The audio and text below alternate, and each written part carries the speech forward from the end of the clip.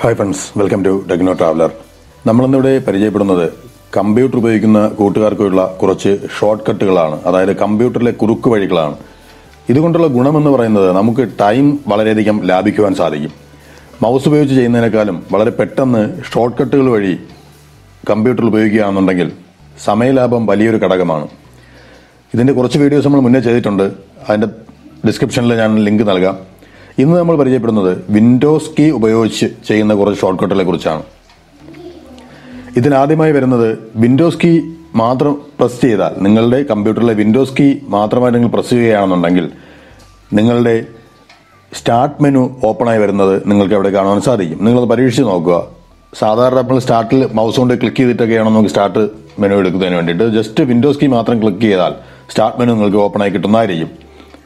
അടുത്തതായി വരുന്നത് വിൻഡോസും എ എന്ന ബട്ടണും കൂടി ഒരുമിച്ച് പ്രസ് ചെയ്യുകയാണെന്നുണ്ടെങ്കിൽ നമ്മൾ ഉപയോഗിച്ചുകൊണ്ടിരിക്കുന്ന ആക്ഷൻ സെന്റർ വലത് ഭാഗത്തായി നമുക്ക് കാണുവാൻ സാധിക്കും. അതായത് നമ്മൾ എന്തൊക്കെ വർക്കുകളും ചെയ്തുകൊണ്ടിരിക്കുന്നതെന്നും മറ്റുമുള്ള ഡീറ്റെയിൽസ് നമുക്ക് കാണുന്നതിനായി വിൻഡോസ് ബട്ടണും എ എന്ന ബട്ടണും കൂടി ഒരുമിച്ച് അമർത്തുക.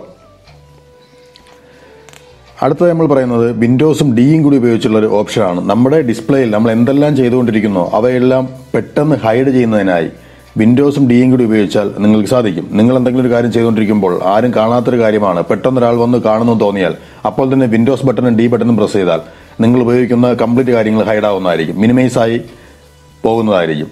പരീക്ഷിച്ച് നോക്കുക. നിങ്ങൾക്ക് ഇനി ഇന്റർനെറ്റ് എക്സ്പ്ലോറർ പെട്ടെന്ന് ഓപ്പൺ ചെയ്യണമെന്നുണ്ടെങ്കിൽ വിൻഡോസ് ബട്ടണും ഇ എന്ന ബട്ടണും കൂടി പ്രസ് ചെയ്താൽ ഇന്റർനെറ്റ് എക്സ്പ്ലോറർ നിങ്ങൾക്ക് പെട്ടെന്ന് തന്നെ ഓപ്പൺ ചെയ്യാൻ സാധിക്കും.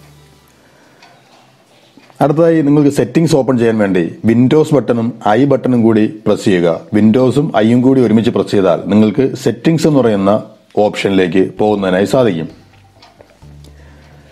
നിങ്ങൾക്ക് ഇനി ഒരു സ്ഥലത്തേക്ക് പെട്ടെന്ന് എഴുന്നേറ്റ് പോകണം. പെട്ടെന്ന് തന്നെ തിരിച്ചു വരികയും വേണം. അങ്ങനെ ഒരു അവസ്ഥയിലാണെങ്കിൽ നിങ്ങൾക്ക് നിങ്ങളുടെ സിസ്റ്റം ലോക്ക് ചെയ്തിട്ട് പോവുകയും വേണം. ഇങ്ങനെ ഒരു അവസ്ഥ വരുമ്പോൾ നിങ്ങൾ ചെയ്യേണ്ടത് വിൻഡോസും എൽ എന്ന ബട്ടണും കൂടി പ്രസ് ചെയ്ത് കൊടുത്താൽ സിസ്റ്റം അപ്പോൾ തന്നെ ലോക്ക് ആവുന്നതായിരിക്കും. അതല്ല നിങ്ങൾക്ക് മറ്റൊരു അക്കൗണ്ടിലേക്ക് മാറുന്നതിനും വിൻഡോസും എൽ എന്ന ബട്ടണും കൂടി ഉപയോഗിക്കാം. നമ്മുടെ സിസ്റ്റത്തിൽ നമ്മൾ ചെയ്തുകൊണ്ടിരിക്കുന്ന കാര്യങ്ങൾ മുഴുവൻ നമുക്ക് പെട്ടെന്ന് മിനിമൈസ് ചെയ്യണമെന്നുണ്ടെങ്കിൽ വിൻഡോസ് ബട്ടണും എം എന്ന ബട്ടണും കൂടി ഉപയോഗിച്ചാൽ പെട്ടെന്ന് തന്നെ എല്ലാ കാര്യങ്ങളും മിനിമൈസ് ചെയ്യുന്നതിനായി സാധിക്കും.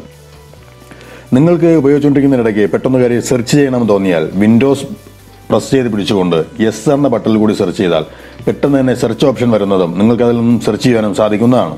സാധാരണയായി നമുക്ക് പെട്ടെന്ന് തന്നെ ഒരു സ്ക്രീൻഷോട്ടോ മറ്റോ എടുക്കണമെന്നുണ്ടെങ്കിൽ നമുക്ക് വളരെയധികം നമ്മൾ ബുദ്ധിമുട്ടാറുണ്ട്. ഇതിനായി നമ്മൾ ചെയ്യേണ്ടത് വിൻഡോസ് ബട്ടണും പ്രിന്റ് സ്ക്രീൻ എന്ന ബട്ടണും കൂടി ഒരുമിച്ച് പ്രസ് ചെയ്യണമെന്നുണ്ടെങ്കിൽ നിങ്ങൾക്ക് ഒരു സ്ക്രീൻഷോട്ട് വളരെ പെട്ടെന്ന് എടുക്കുവാൻ സാധിക്കുകയും അത് നിങ്ങളുടെ സ്ക്രീൻഷോട്ട് എന്നുള്ള ഫോൾഡറിലേക്ക് സേവ് ആവുന്നതുമായിരിക്കും.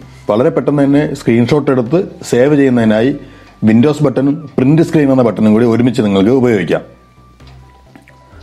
അടുത്തായി നിങ്ങൾ വിൻഡോസ് ബട്ടൺ ടാബ് എന്ന ബട്ടണും കൂടിയാണ് ഉപയോഗിക്കുന്നതെങ്കിൽ നിങ്ങളുടെ ടാസ്ക് വ്യൂ ഓപ്പൺ ആയി വരുന്നത് കാണുവാൻ സാധിക്കും. അത് നിങ്ങൾ ഉപയോഗിച്ച് നോക്കുക.